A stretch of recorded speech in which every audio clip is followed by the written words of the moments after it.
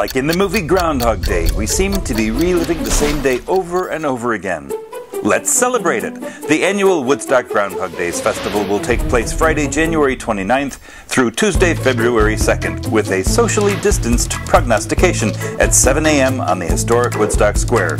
Keep an eye out for the new self-guided walking tour video coming soon to Real Woodstock's YouTube channel, complete with behind-the-scenes stories from Columbia Pictures location manager Bob Hudgins. Thank